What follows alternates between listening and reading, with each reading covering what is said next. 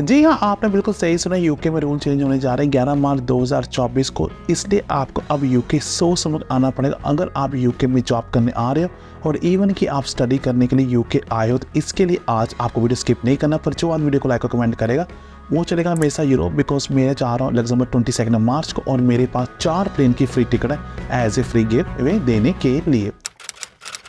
Welcome to my channel once again मेरा नाम है गैरी आपका मेरे चैनल गैटी पर दिल से स्वागत आज हम डिस्कस करेंगे यूके का रूल रूल जो 11 मार्च 2024 का चेंज होने जा रहा है, जिसको बोलते हैं UK health and care worker visa और उसके लिए सबसे डिस्कस करना चाहते हैं कि health and care worker visa होता क्या था। Health and care worker visa बहुत ईजी वीज़ा होता था, जहाँ पर आप उन बी बच्चों को अपने साथ लेकर आ सकते थे। और आपको तीन साल का वीज़ा मिलता था। मात्र इसकी जो स्क्रीन पर कॉस्ट दिखाई जा रही है, वो थे टू एट्टी फोर जो कि रफली पच्चीस छब्बीस हज़ार के रुपये होते थे पर एप्लीकेंट के। और इसमें आपके हस्बैंड को कुछ भी नहीं करना था, वो आपके साथ एज ए डिपेंडेंट बच्चों के साथ जा सकता था। और इसके जगह स्पोर्टिंग डॉक्यूमेंट्स की बात करें, वो डॉक्यूमेंट आपका पासपोर्ट पासवर्ड फ़ोटो लगती थी? आपका स्पॉन्सरशिप जो कि आपको स्क्रीन पर दिखाया जा रहा है, ये लोग आपको स्पॉन्सर कर सकते हैं केयर होम के लिए। और उसमें आपका नाम एम्प्लॉयर का नाम, आपका स्पॉन्सर लाइसेंस नंबर आपकी job detail including S O C code and salary statement letter आपके बैंक बिल्डिंग से कि आपके अकाउंट में इतनी परसेंट सेविंग है बिकॉज़ आपको one two seven zero pound दिखाने थे जो कि रफली एक लाख के बराबर है। आपको बेसिक इंग्लिश टेस्ट आपका टीवी टेस्ट आपका पुलिस क्लीन और अगर आप आपके डिपेंड आपके साथ आ रहे, उनके बर्थ सर्टिफिकेट और मैरिज सर्टिफिकेट आपको साथ में लगाने पड़ते थे। ये बहुत आसान वीज़ा था, जिसको कम से कम लाखों लोगों ने लिया है।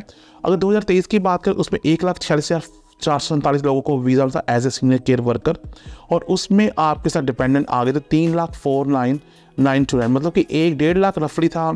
मेन एप्लीकेंट और डेढ़ लाख जितने ही और डिपेंडेंट आपके साथ आ गए तो इसलिए होम ऑफ़िस ने रूल्स ये बनाया है, अब 11 मार्च 2024 को अगर आप सीनियर केयर और केयर वर्कर पर आ रहे हो, जिनका एस ओ सी कोड आपको स्क्रीन पर दिखाया भी जा रहा है, उन पर आप अपने डिपेंडेंट को लेकर नहीं आ सकते हैं और इनका कोड है six one four five six one four six अब इनको जो लोग स्पॉन्सर आपको करेंगे और बहुत न्यूज़ सुनी कि यूके में बहुत एक्सप्लोटेशन होती है।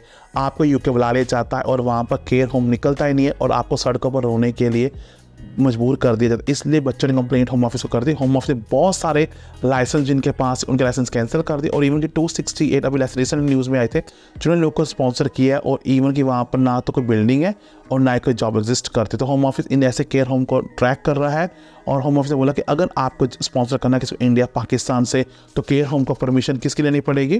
केयर क्वालिटी कमीशन जिसको सी क्यू सी बोलते हैं। यही लोग अब आपको स्पॉन्सर कर सकते हैं और होम ऑफ़िस अभी आपको वीज़ा देगा, अगर इनके नाम सी क्यू एस के अंडर होते हैं। तो मेक श्योर करें कि आपका care home C Q S के अंडर है और आप अगर सिंगल लड़के हो अगर आप इंडिया में बैठे हो तो अगर आप यूके जाना आपके बी बच्चे आपके साथ नहीं जा सकते रूल्स आर रूल्स बाकी आपको बेस इंग्लिश टेस्ट देना है, आपकी एवरेज सैलरी एक से दो लाख बनती है, और स्क्रीन पर आपको दिखाया भी ten top care homes in UK जहाँ पर आप अपना जॉब अप्लाई कर सकते हैं।